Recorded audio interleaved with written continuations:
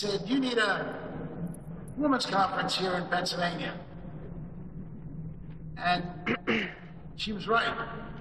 She said, We need a women's conference to empower women to seek fearlessly to reach their full potential. And she was right.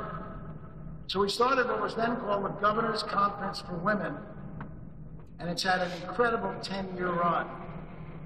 In 2011, the state support ended, but Leslie Stiles and the great people on the board and staff of the conference have kept it going, and today it's our best attendance ever.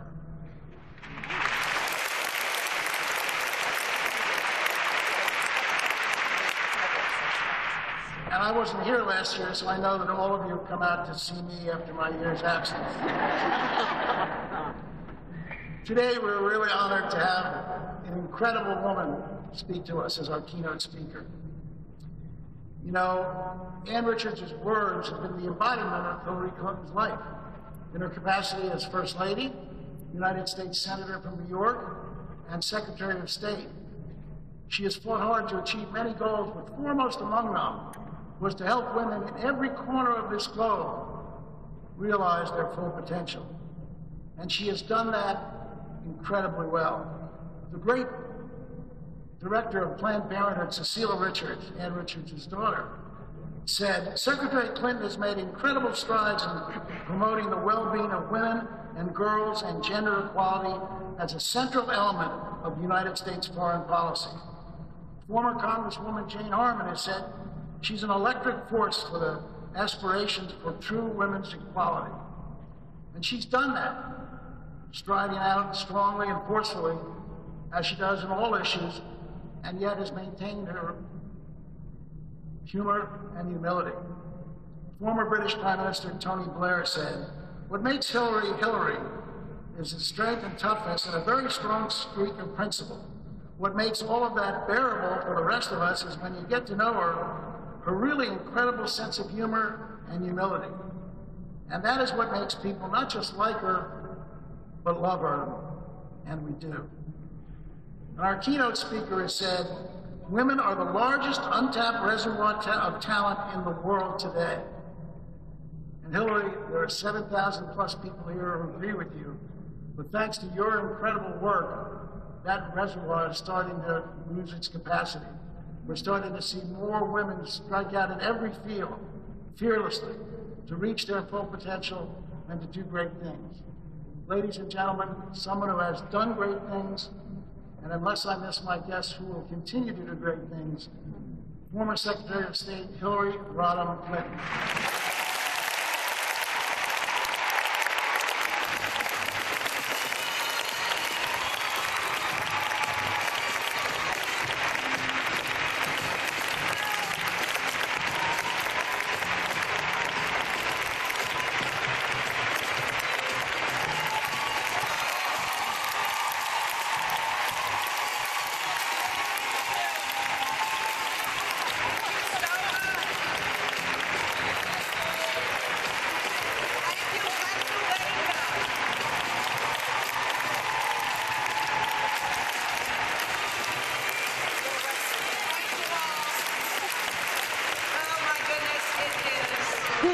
Wonderful to be back here in Philadelphia and to be at Pennsylvania Conference 10th anniversary.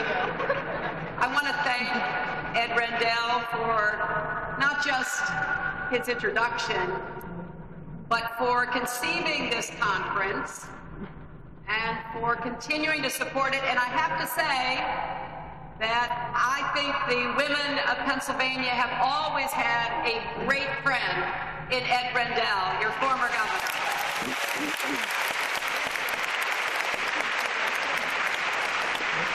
In fact, I think when I left the State Department, the first call I got was from Ed saying, would you come to the Pennsylvania conference?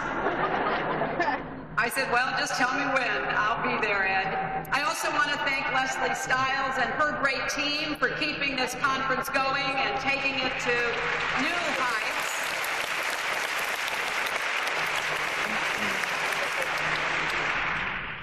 And I, like all of you, was especially moved by Linda Client Wayman's incredible presentation, and I want to give her another round of applause for doing a great job.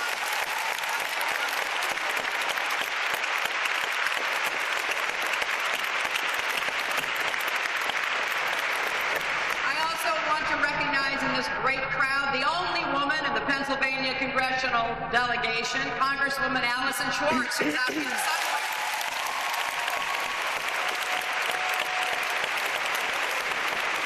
When I was in the Senate, I worked often with Allyson in the House, and I'm to see her here and so many of you who are standing up, speaking out, working for the continued opportunities that girls and women here in this Commonwealth and across our country and indeed the world deserve.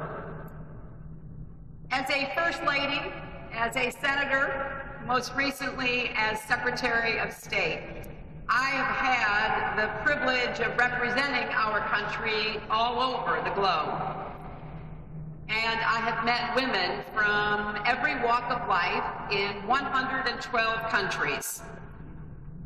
And I've also continued to speak with and listen to women in our own country.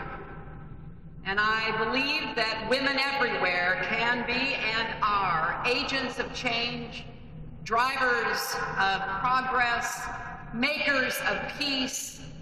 All we need is a fighting chance to show what we can do in every part of life. But too many, too many women here and around the world still face ceilings.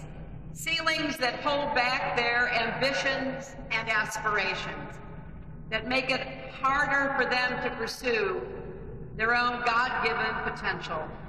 It's laws, it's customs, it's all kinds of attitudes that limit access to markets and to justice and to security. But these ceilings, they don't just hold back women and girls, they hold back entire economies and societies because no country can truly thrive by denying the contributions of half its people. The great unfinished business of the 21st century is helping women and girls break through these ceilings and participate fully in every aspect of life once and for all. That is now the major focus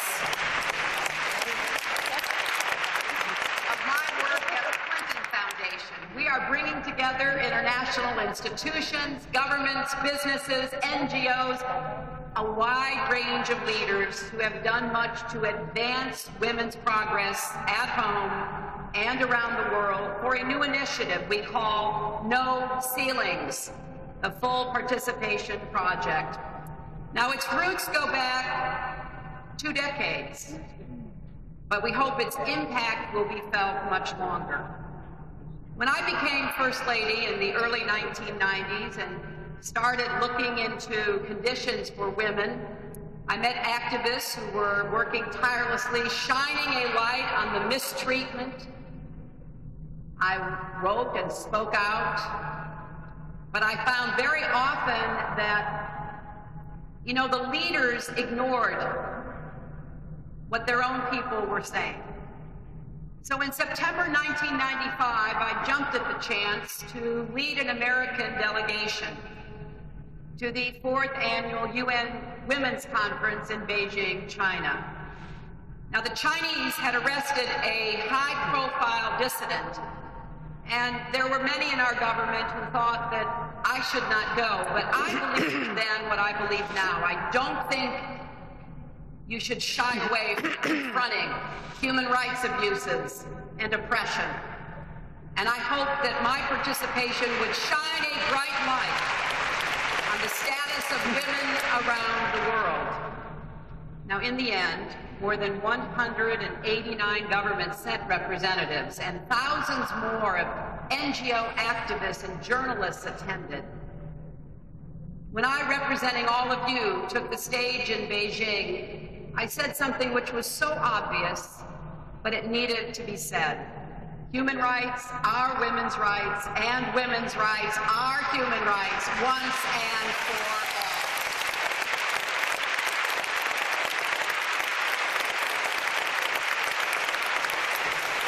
Now that means it is a violation of human rights when women face violence in their own homes, when women and girls are sold into slavery and prostitution, when women are burned to death because their marriage dowries are considered too small, when women are subjected to rape as a tactic or prize of war, and when young girls are brutalized by genital mutilation, when women are denied the right to plan their own families.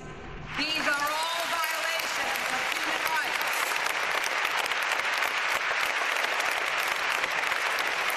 And I wanted the world to condemn them with one voice. Well, the Chinese cut off the video in the conference center. But somehow the word got out, and when I left the room, there were women standing in the hallways and hanging over balconies. And most importantly, the 189 nations agreed to an ambitious platform for action that called for, and I quote, the full and equal participation of women in political, civil, economic, social, and cultural life. That was a clarion call to the global community to work for the laws, reforms, and social changes necessary to ensure that women and girls finally have the opportunities they deserve to fully contribute to the peace, progress, and prosperity of their societies. We saw a lot of progress in the decades since 1995. Beijing had been about claiming rights for women, and this new period was about changing laws and constitutions and conventions. In many countries, law that once permitted unequal treatment of women and girls were replaced by laws that recognized equality. I was very proud that in the 1990s, when my husband was president, he signed the Family Medical Leave Act, the Violence Against Women Act, major legislation combating trafficking against women. It wasn't just about other countries, it was about what more we could do here at home. And I was pleased when the United Nations created a new body of, uh, called UN Women. I was pleased when the Security Council passed resolutions recognizing the crucial role of women in peacemaking and security. I've been following closely the research at the World Bank, the International Monetary Fund, other institutions that are looking at the untapped potential of women and girls. And finally, we began seeing across the world school doors that had been closed opening to women, jobs in the formal economy being available for women, women running for political office. So when I became Secretary of State, I wanted to make it a priority of our country to support and advance this progress. So our diplomats and our policymakers started viewing women around the world as partners, not problems. We invested in women entrepreneurs. We helped to train civil society activists. We raised all kinds of questions about what was happening to women with their governments at the United Nations. And then when I left the State Department, I realized that in September 2015, it will be the 20th anniversary of that conference, and it is time for all of us to take a clear eyed look at how far we've come, but more importantly, what we need to do now for the agenda that we do here at home and that we help others do across the world. Because after all, women and girls still comprise the majority of the world's unhealthy, unfed, unschooled, and unpaid. At least 100 countries have laws on the books that limit the participation of women in the economy. In some places, women cannot open a bank account or sign a contract. In others, they are restricted from what jobs they can hold. And even in advanced economies like our own, women earn 16% less than men for doing the same job. So, what good does it do if there are laws on the books but they're not enforced? What good does it do if police and courts turn a blind eye to abuses? What good does it do if political leaders talk about empowering women, but when budget time comes around, the money is rarely there?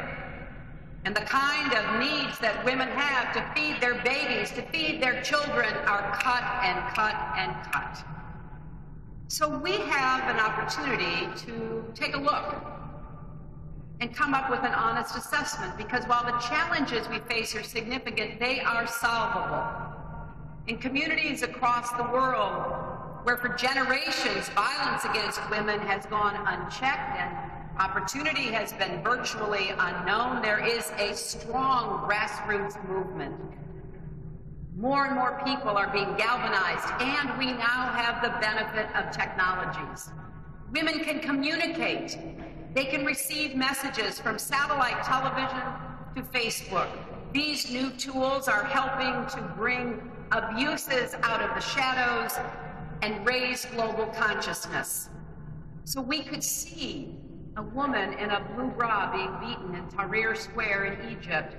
We could hear and learn more about a young Indian woman brutally gang raped and eventually dying in Delhi. We could meet a 14 year old Pakistani girl shot in the head because she had the audacity to demand an education. This all comes at a time when we have more empirical evidence than ever about women's progress, indeed, about human progress. All that research conducted by all these groups has verified what we knew intuitively that when women participate in the economy, everyone benefits. When women participate in peacemaking and peacekeeping, we are all safer and more secure. And when women participate in politics, the effects ripple across the entire society. Weren't you proud when it was the women of the United States Senate who led the way to end the shutdown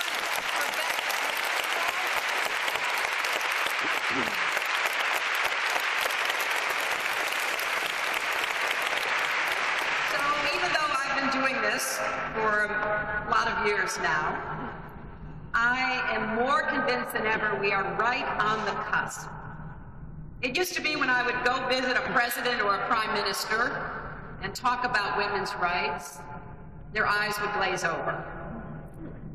But when I would say, "Oh, by the way, empowering your women and their economic opportunities means you'll increase the gross domestic product of your country. In fact, based on the new research we had, I could show them and go up this much percent in Japan, and this much in Korea, and this much in Germany or the United States.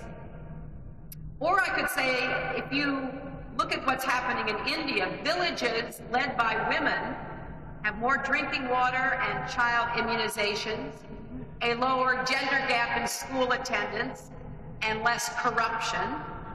So it makes for a more peaceful, productive community. We have the technology, we have the data, so we are at this turning point. And if we the women of the United States act decisively, we can make a real difference, not only far from home, but here at home. That's why we are launching No Ceilings. We want to know what we've achieved and what we have to do. We're going to work with technology partners to create a digital global review and then distribute the data widely so everyone can use it to see the gains and to see the gaps to share this information across platforms to be put to use by advocates, academics, and decision makers. And we also want to collect stories from the women and girls around the world and here at home. Stories of both adversity and triumph, of marginalization and inclusion, the obstacles overcome, the opportunities seized, the aspirations achieved. I want those voices to be heard. to inform debates, to shape policies, to inspire others. No Ceilings will work with experienced partners to train and support the next generation of emerging women leaders, building on the platform that was accepted in Beijing, but also looking at areas that were not even imagined, like closing the digital gap. Technology, particularly mobile technology, is making a huge difference, but 200 million fewer women have access to that technology. But I want to emphasize the importance of making sure we work toward the full participation and empowerment of women and girls here at home. Earlier this year, The Economist magazine published what they called a glass ceiling index. It ranked countries based on factors like opportunities for women in the workplace and equal pay. I read it, then I read it again. I thought there must be a misprint. The United States was not even in the top 10. Why? Well, women still hold less than 17% of corporate board seats in the United States, and only about 4% of Fortune 500 CEOs are women. Women are the primary breadwinners for 40% of American families with children. Most are single mothers. But our workplaces and our support systems haven't caught up with this reality. Today, American women may have more advantages and opportunities than at any time in our history, but the truth is that for too many American women, the dream of upward mobility, the American dream, that very human dream, remains elusive. Many American women today are actually living shorter lives than their mothers, especially those with less education, lower incomes, shorter lives than women in any other major industrialized country. That is a historical reversal in life expectancy. We haven't seen anything like that and since the Russian men's numbers began to drop after the end of the Cold War, and it is certainly not what we would expect from the richest, most powerful nation in the world, the best medical care, the most advanced technology, the values that we have. And it is not anything we should accept. Now, there may be no single explanation for why American women are living shorter lives than their mothers, but a lot of it has to do with unemployment and economic stress. The biggest declines in life expectancy are coming in communities that have been hollowed out by inequality and poverty. In struggling rural communities, in crumbling Appalachian towns, in places plagued by smoking, obesity, drug use, teen pregnancy, and yes, domestic violence, where wages have stagnated and good jobs have disappeared and where social networks that provided support to Americans in previous generations are weaker than ever, where schools are failing to keep up, where labor unions are shrinking, where government is certainly less trusted and families more fractured. Women trying to build a life and a family in such places don't just face ceilings, it's as if the floor has collapsed beneath them. So we have our work cut out for us. It's time for all of us to work together to try to reverse these trends, to combat the continuing scourge of domestic violence, to stand together despite what we see happening in many places in the country defend the right of women to all the health care services that they need and deserve. To rebuild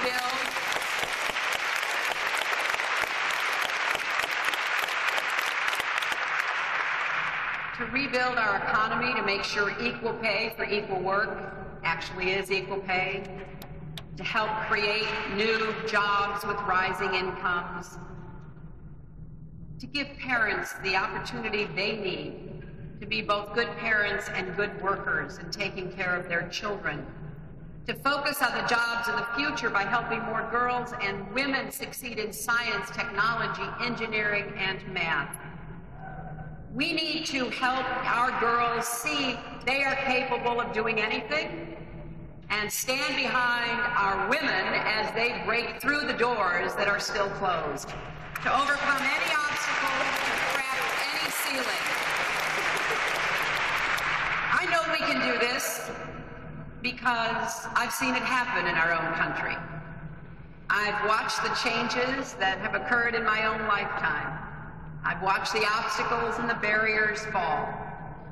And I've also seen that courage and determination in so many people around the world. The women I worked with in the peace process in Northern Ireland, the homeless women who took it on themselves to build a village from scratch in Cape Town, South Africa. Aung San Suu Kyi, the Nobel laureate who endured years of house arrest so she could help lead her people to freedom and democracy. No ceilings, no ceilings can deny the God given potential of half the world's population. And no ceiling, no ceiling can stand in the way of renewing the American dream for women and men, for girls and boys, for every single American who deserves to have the same kind of future with its potential for growth and success that so many of us were blessed with. So, yes, we want to name and to understand all the ceilings. We want to look at the need for a floor that no longer exists under so many of our fellow Americans. And we need to be convinced of the importance of this cause going forward. I'm absolutely confident that we can send a clear, unmistakable message. Ceilings in America are unacceptable. Ceilings around the world that prevent education and health care and jobs and opportunity are equally unacceptable. And we're going to be about the business of making sure that those ceilings crack for every girl and every woman here and around the globe. So let's get